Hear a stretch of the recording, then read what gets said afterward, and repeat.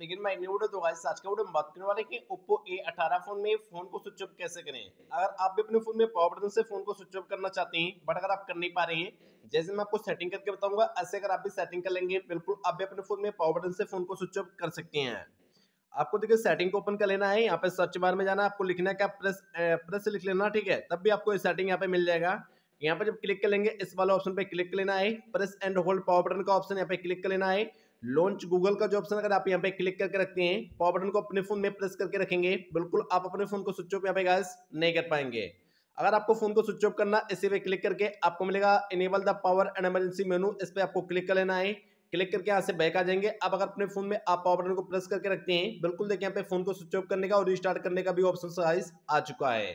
तो ऐसे अगर आप अपने फ़ोन को स्विच ऑफ़ करना चाहते हैं, बिल्कुल कर सकते हैं।